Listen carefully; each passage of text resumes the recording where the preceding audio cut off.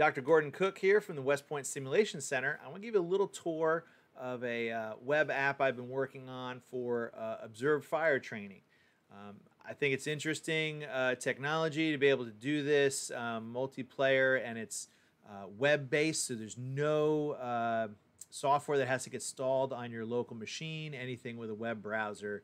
Uh, desktop, cell phone should be able to go ahead and use this. Um, so let's go ahead and take a look at it here. Uh, so when you go to the first link, you're going to be presented with a screen like this. Um, is our Verve Observe Fire Simulator. Um, and you've got uh, this very first button here to create a new FDC, Fire Direction Center. Uh, so one person is going to be in charge of how those different uh, fire missions get inputted into here. So we can do that. And then we have to pick a scenario.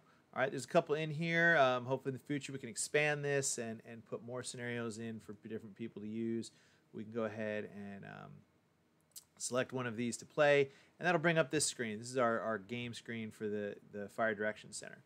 Um, and what we've got on top here is a QR code. So if our uh, forward observers are using their cell phones, they can just uh, point it at the screen, use their camera to capture that, and it'll take them right to uh, the right link.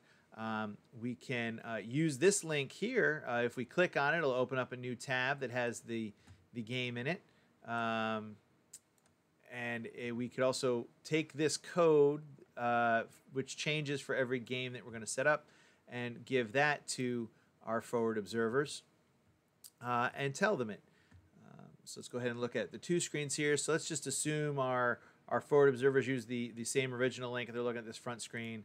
So they can go ahead and type in our Romeo, Zulu, Lima, Papa, Yankee, all right, and hit the join as an observer button, and then it'll load up uh, the scenario. We get the splash screen that tells us a little bit about our controls. We can bring up our binoculars, our compass, our GPS. We can walk around, so it'll take a moment here. You can see there's a progress bar. As long as that keeps moving, we're good because um, we're pulling in a lot of terrain uh, data. These are real world terrain files that these are based on. And then we get our 3D view of the environment. We can use our mouse uh, to move around. If I was using a cell phone, you could actually move the cell phone as if you're holding a pair of binoculars um, to see different things. So we can see our terrain, get familiar with our map sheet, uh, and we can notice that there's little um, uh, vehicles out here. Some of maybe you can see the people. I don't know how that'll show up on the, the recorded screen. Um, so we can do that. Uh, we can walk around this WASD. This red benchmark is our uh, OP location just to help us get back to it if we needed to um, and get ourselves familiar. Now, uh, maybe I want to select a target. I'm going to need a compass bearing so I can bring up my compass. Uh, I can get a bearing off of the target. I can uh, zoom in on my compass here, just hit the C key again. Um, it is going to keep uh, wobbling on me. I have to kind of judge where I think it's at. This is probably right on that 5-5 line. Um, now, then I'm going to call that in. Now, the way that we communicate between the forward observer and the fire direction center is entirely up to you. Uh, we could be sitting shoulder to shoulder or back to back with our cell phones at and just talking to each other. Uh, we could have two windows open and do one player, and I could just type these in myself like I'm doing here. Um, we could get out the radios and put people in different rooms or spread them out uh, around the motor pool and make them go through the actual radio and, and use all the commands that they're supposed to to talk back and forth. Um, on the fire direction center side, if, if we were using our map and had a grid coordinate, we can use six digit, eight digit, or 10 digit grids, but we do need to break up the easting and northings to input them. And uh, in this example, maybe we're going to call a polar fire mission. So I know that I was at 5,500 mils.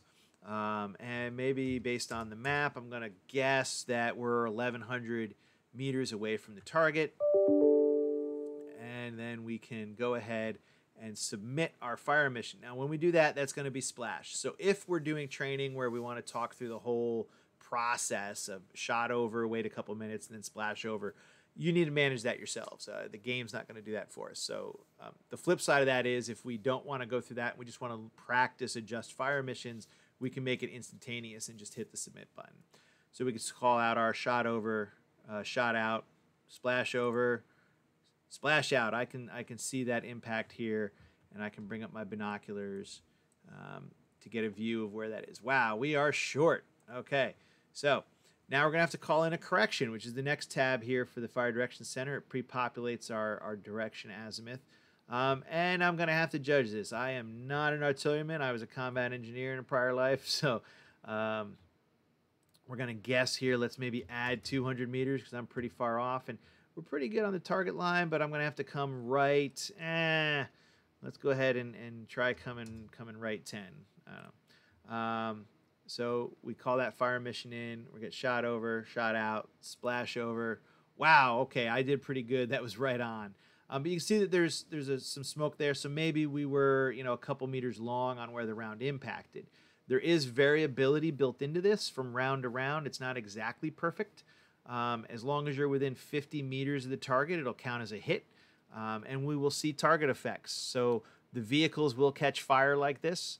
Um, and we can see that we've got this little soldier uh, out over here. I don't know if we'll do it, but let's say I want to call fire for effect on this area. Uh, so the submit button shot one round at what was put in there. The fire for effect button down here is going to shoot uh, a, a barrage of five rounds that are at the same location, plus or minus that error variability that we built into the system. So let's call that in. You can see here where we've spread out around a roughly 50 meter circle. And that was enough um, that we actually managed to uh, hit the other tank and this dismount, who is now fallen. His body is fallen over on the ground, um, and and you can uh, see the target effects there. All right, uh, maybe we want to move over. Uh, there are whoop, here they are. There's a squad of soldiers out here in the distance that we can see walking on this mountainside.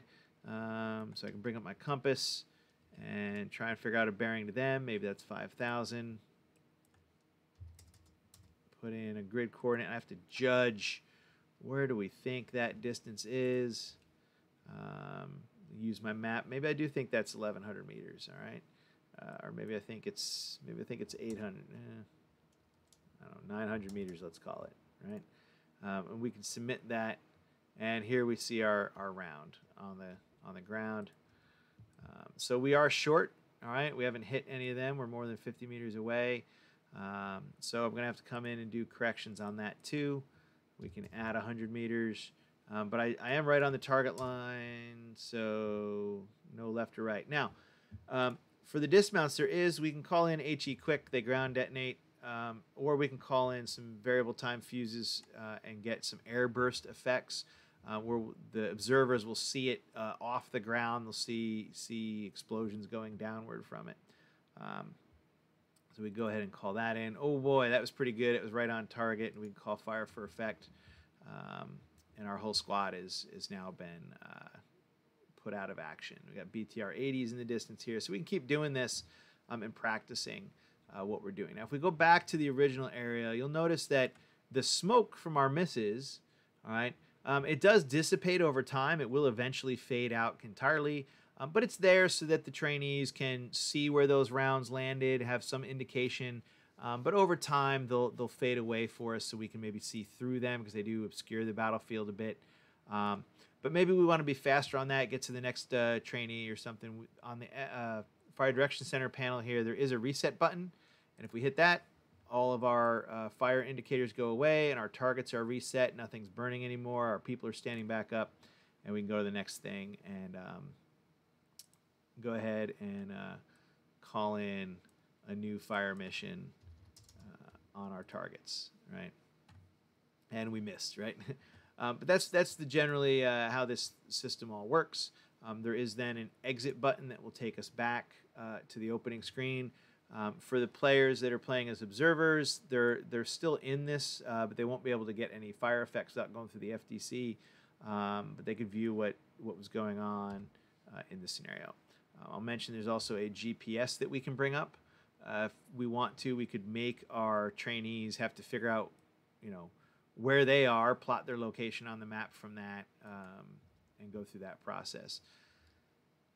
okay, well, uh, thank you very much. Um, I hope you all uh, enjoy giving this app a try. I very much look forward to getting feedback if we identify any bugs.